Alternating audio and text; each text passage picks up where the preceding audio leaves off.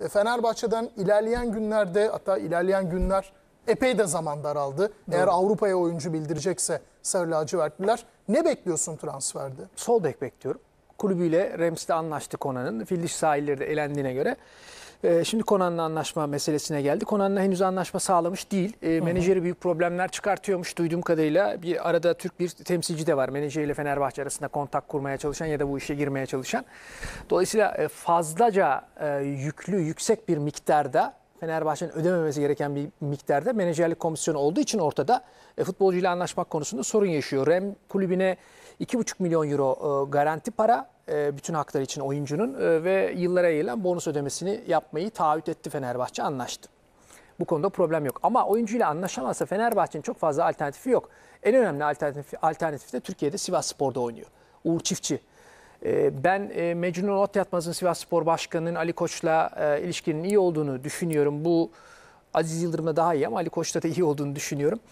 Ee, Bu ilişkinin de e, her ne kadar profesyonel bir dünyada yaşıyor olsak da bu ilişkinin de Uğur Çiftçi'nin transferi konusunda belirleyici olabileceği kanaatindeyim.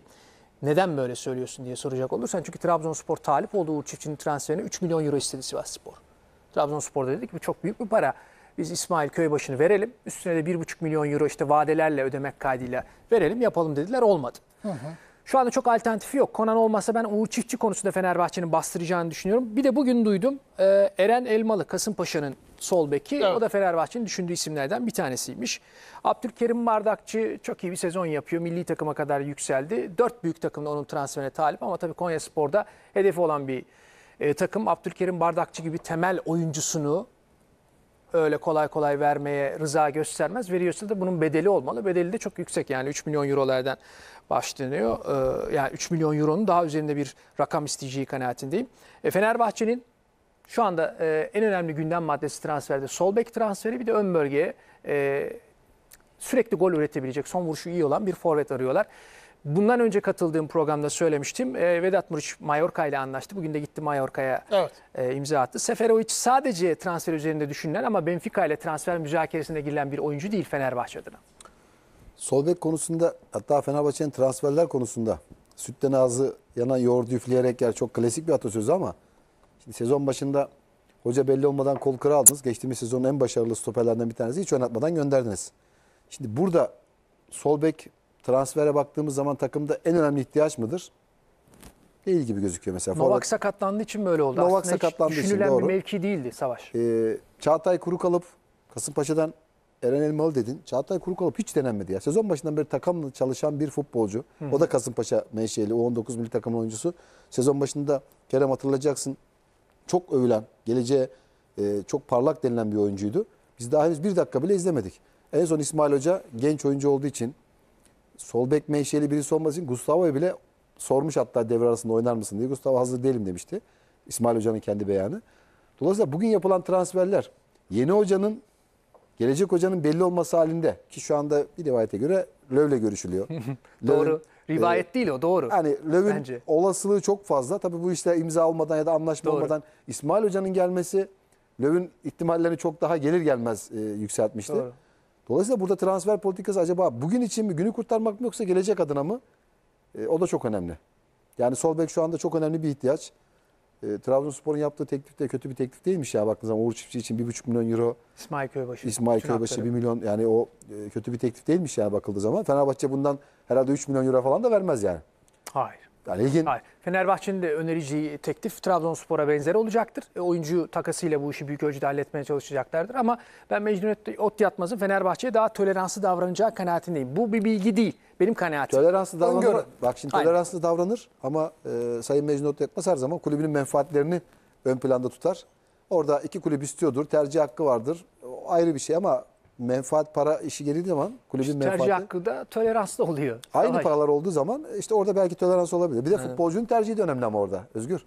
Yani başkan ben sen şu kulübe gideceksin dediği zaman illa oraya kulübe gönderemez. Futbolcunun burada tercihi de önemli. Ben işte burada yani Uğur Çiftçi daha önce Gençler Birliği'nde oynarken de mesela görülmedi. Orada da aynı is- performans sergiliyordu. Hatta daha iyiydi belki de. Çok istikrarlı Ahmet'le beraber. İstikrarlı oyuncu olmasından dolayı bugün istenen bir oyuncu zaten. Ben her zaman belli Evet istikrarlı. belli. Biraz da üzerine e, koyarak gidiyor. Daha da fazla koyabilir. Bu sezon gördüğü kartlardan dolayı biraz e, çok fazla dikkat çekti. Evet. Ama defans oyuncuları, savunma oyuncuları biraz agresif olabiliyor zaman zaman yani. Bir de yabancı kontenjanı dolu Fenerbahçe'nin. Bunu da çözmesi lazım. Şimdi burada o- sen az önce ama diğer o sol bek kimdi yabancı söylediğin? Novak, Filip Novak, Yok. E, Konan. Konan. Kona. Şimdi mesela gidecek kim? Meyer deniliyor mesela. Ama sürpriz bir isim de olabilir. Belki satış olacak. Hala burada gündeme gelen isimler var yani Fenerbahçe'nin satabileceği belki. İşte. Ama işte, işte m, Çok ciddi teklifler Max olursa- Meyer'i e, Karagümrük'e önerdiler. Pesic'in transferi konusunda ama Karagümrük'te anlaşılamadı vesaire. Bir şekilde eldeki yabancıları çıkartması lazım Fenerbahçe'nin. Transfer yapacak, ön bölgeye de alacak ama göndermeden nasıl alacak? Asıl mesele yani transfer yaparken harcadığı kadar enerjiyi göndermek için de harcaması lazım Fenerbahçe'nin. Bu da zaten transferin önünü kesen belki de önemli Aynen, konulardan bir aynen. tanesi. Yüzde yüz. Ya Yani işte- elden çıkarmak almaktan daha zor aslında. Yüzde yüz. Burada da mesela Campos'ta çok fazla konuşamadık. İşte Campos bana burada lazım. Almak için değil, satmak için lazım. Çünkü neden? Doğru söylüyorsun.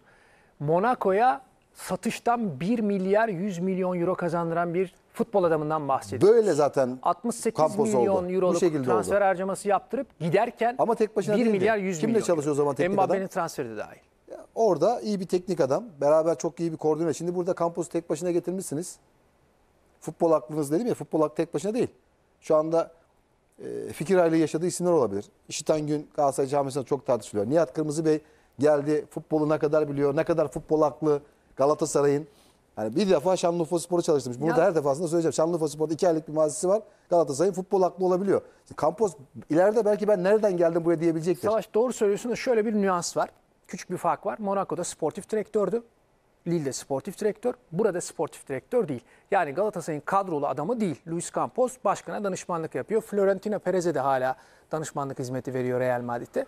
O açıdan e, %100 yetkili, %100 bütün organizmaya, organizmadaki bütün e, insanlara uyumlu ya da onlarla anlaşacak bir biçimde e, çalışacağından bahsedemeyiz. Sadece fikirlerini söylüyor. Ama Luis Campos'u sportif direktör olarak atadığında, atadığınızda onun e, alacağı yıllık maaş bir futbolcunun maaşına denk olur. İyi bir futbolcunun maaşı 1,5 milyon euro alıyordu. Çünkü en son Lille'de ve Luis Campos eğer Galatasaray'ın sportif direktörü ise teknik direktörü de o atar, futbolcuyu da o transfer eder. Her bir futbolcu gidecek futbolcuyu Komali o gibi. belirler. Komali gibi. Ama şimdi pozisyonu Şimdi sportif peki bir şey söyleyeyim buna. Ne zamandan beri Luis Campos başta?